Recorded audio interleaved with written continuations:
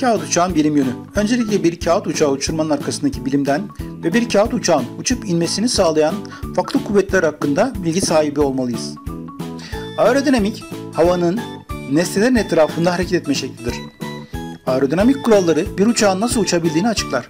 Havada hareket eden her şey aerodinamiğe tepki verir. Aerodinamik, hava arabaların etrafından dolaştığı için arabalara bile etki eder. Dört düşüş kuvveti kaldırma, ağırlık, itme ve sürüklemedir. Bu kuvvetler bir nesneyi yukarı ve aşağı ve daha hızlı veya daha yavaş hareket ettirir. Her kuvvetin ne kadar olduğu nesnenin havada nasıl hareket ettiğini değiştirir. İtme kuvveti Uçağı ileri doğru hareket ettiren kuvvettir.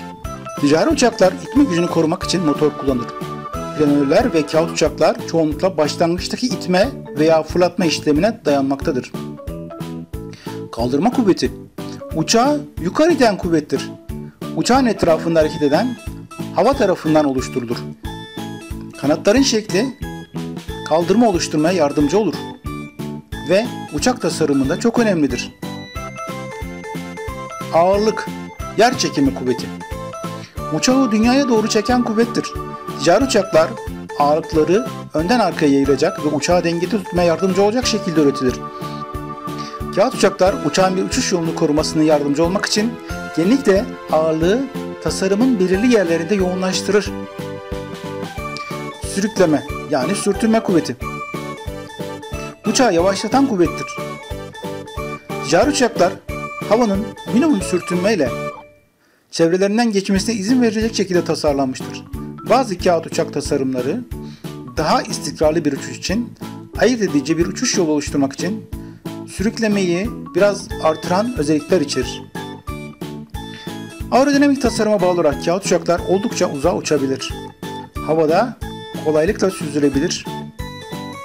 Çeşitli kuvvetler uçuşun mesafesini, uzunluğunu kolayca etkileyebileceğinden uçağı tasarlarken fizik kullanışlı olabilir.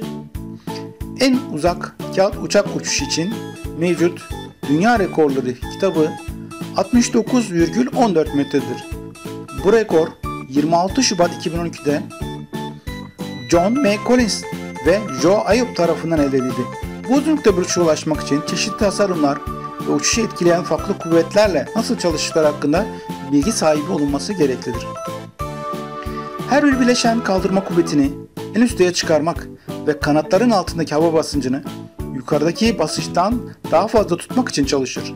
Bu kuvvetleri bilimsel olarak kullanarak kağıt uçağın havada kalma süresini ve mesafesini artırabilirsiniz. Kağıt uçak mühendisliği en iyi kağıt uçak tasarımını üretmek için kütle içeren çeşitli uçak tasarım değişkenlerini değiştirerek en iyi şekilde yapabilirsiniz. Kağıdın ağırlığı kağıt düzlemin kütlesini belirler.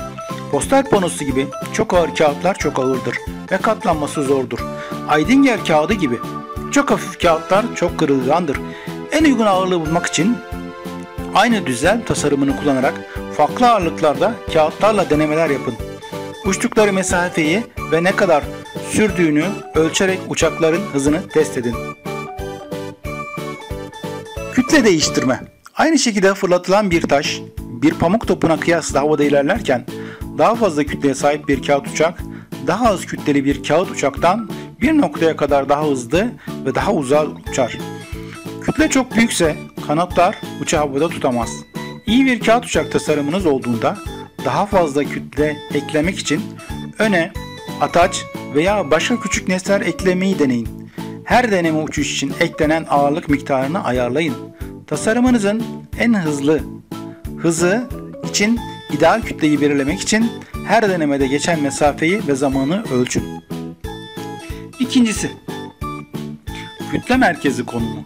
Kütle merkezi veya ağırlık merkezi kağıt düzlemin dengelendiği bir noktadır. Uçağı işaret parmağınıza dengeleyerek bu noktayı bulabilirsiniz. Parmağınızın her iki yanındaki kütle aynı.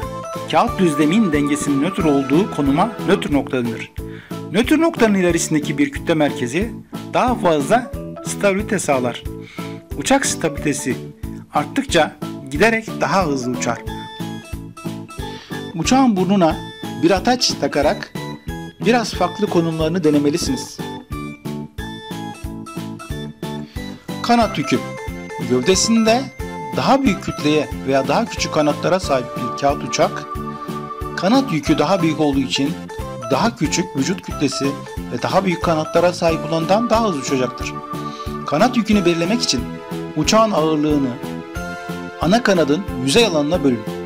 Kağıt uçakların tasarımlarını daha büyük kanat yükleri ve daha düşük kanat yükleriyle karşılaştırın.